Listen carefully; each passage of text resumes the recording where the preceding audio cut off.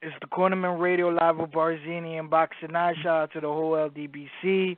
I And Dan Rafael also reported, also Lance Pugmire, LA Times reported this. Uh, I will put the article in the description. Um, Maurice Hooker versus Jorge Linares in June. Jorge Linares is also going to be on that Jarrell Miller undercard versus um, Trevor Bar- um, Bryan. He's also going to be on that card as well as Chris Algieri, and they're trying to schedule that fight for June. That's what Eddie Hearn is saying to these reporters. He also talked about it while um, Maurice Hooker got his win against Alex. So, for me, I I Linares is a good fighter, really talented, super skilled, but I feel like at 135, at 140, I think everybody smashes Jorge Linares, and and that's not discrediting Jorge Linares.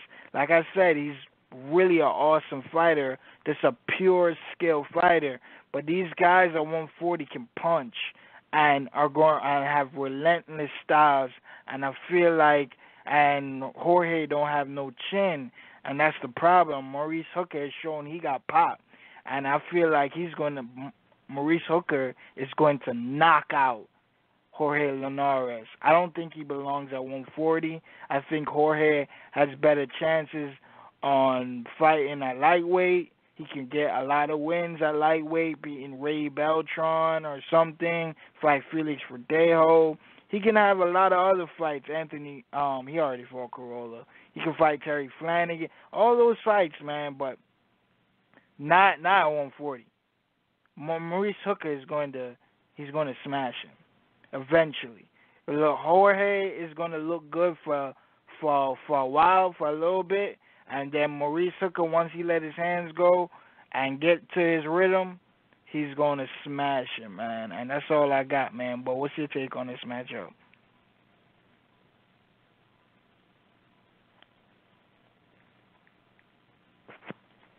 Oh, my bad. I was on mute. Yeah, I got Maurice Hooker, man.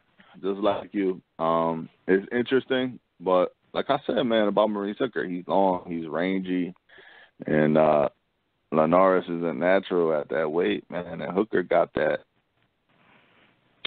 he got them stinging shots from range, man.